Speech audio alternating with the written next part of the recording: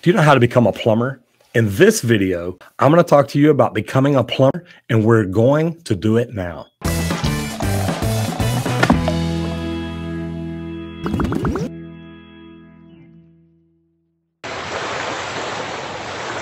I'm Roger Wakefield, LEED AP, the expert plumber. Welcome back to another great video. If you've not been here before and you want to learn all things plumbing as a homeowner, buyer, or real estate agent, start now by subscribing right now and ringing the bell so you don't miss out on anything. Becoming a plumber is a great career decision. To me, plumbing's not a job. Plumbing is a career. Plumbing is something that you decide you want to do and you get out there and you learn it and you work at it and you become really, really good at it. Becoming a plumber was a decision that actually a friend of mine actually helped me make. Those of you that know my story, I, I was still in high school. I was uh, the beginning of my junior year, and I was managing a restaurant. And a buddy of mine asked me one day, he says, "Hey, are you going to do this forever?" And I thought it was great. I said, "Yeah, you know, I'm 16 years old. I'm managing a restaurant life's good.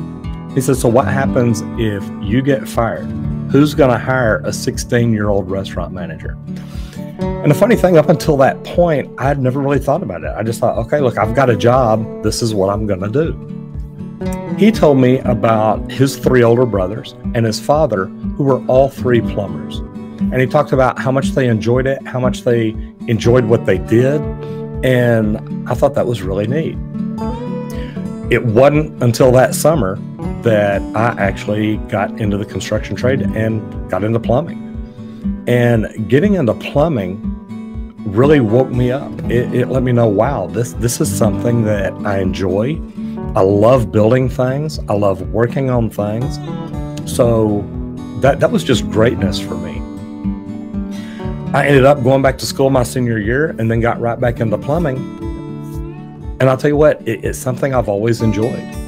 So, becoming a plumber, there, there's different ways that you can go about it. You can actually go talk to the union in your local area and talk to them about it and see what they have to offer. Unions are really good. They've got a good training program. I think in the union, you'll learn a lot of finer ways to do things that some open shop plumbers don't know. When I first got in the union, I had been open shop for 17 years. So I did things different. I learned a different way. But once I got into the union, I wanted to learn the things that they knew because I saw things that would make me more efficient, make me better, and, and make me do a better job. So I learned to do things that way. And the good thing is now I can draw from both those educations in the way that I did it the Union Apprentice Training Program here in the Dallas area or in Texas. You go to school for five years, you get your license after four, and, and they've got a very good pay structure. You start out at 50%, you end up your last year at, I believe, 95% for like your last year, and then you raise up to, or 85%, and then you raise up to full journeyman scale. It gives you a lot to look forward to. Apprentices in union get raises about four times a year. Uh, the great thing is, you're, you're starting on a pension, you're starting on a retirement plan. You have the opportunity to invest in your 401k. That is a great way to go. My faults against the union I think the union trains only for commercial, and at least in my area. And service is growing. I'm a service company, and it's really hard on me because I need service plumbers and they can't provide them. So the things that you can do different if you don't want to go through the union is you can become an open shop plumber. And what you do there is you go down to a plumbing company, you apply for a job, you tell them that you want to be a helper, apprentice, trainee, whatever they want to call it. But guys, whichever way you go, here's one thing that I will tell you. Work very hard. Work hard and learn hard. Because if you do that, you're always going to have a job people told me that when I got into the union, they said, you know, the problem with the union is you'll get laid off a lot, you'll sit at home a lot.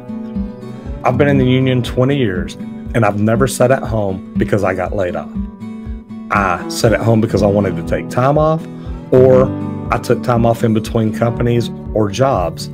But I've never been laid off in the union. And I think it's because I wanted to be very well educated. I wanted to learn more about plumbing. I wanted to learn more about the products. I wanted to learn more about the tools. And a lot of that I took on myself. So, whether you go open shop or whether you go union, just make sure that you're looking at what's best for you and the way you learn. The problem with open shop is when you go to work for open shop, you are literally putting your future in the hands of whatever plumber you work with because that plumber is going to teach you and train you. If he's not a good plumber, you're going to learn bad habits. If he is a good plumber, you have great opportunities. I'm lucky because the plumbers that I learned from, remember I told you in the beginning, were my friends' older brothers.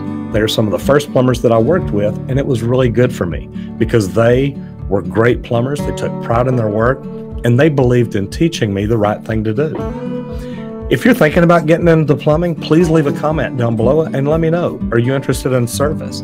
Are you interested in new construction? Are you interested in residential or are you interested in commercial?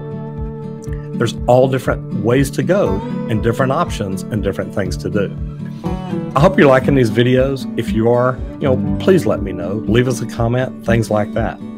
So thank you for watching. If you want to learn more plumbing, Check out some of the other videos we've done on the Expert Plumber and start now, like I said, by clicking the subscribe button and ringing the bell so you don't miss out on anything. And I'll see you on the next video if you don't get flushed.